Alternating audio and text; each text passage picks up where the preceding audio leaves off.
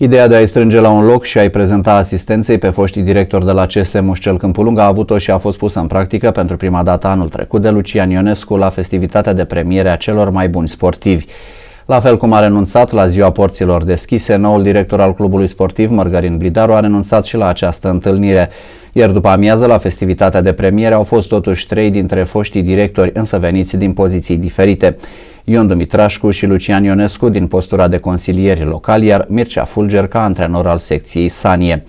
Asul din mâneca directorului Blidaru a fost însă prezența subsecretarului de stat din cadrul Ministerului Tineretului și Sportului, Augustin Ioan. Așa cum spunea și colegul uh, de la Câmpul Lung Mușel, de adevăr, bugetul de acest, din acest an a fost ceva mai, mai redus. Dar atunci când ești făcăleț, încerci să faci, să miști niște lucruri, uh, nu întotdeauna și ies.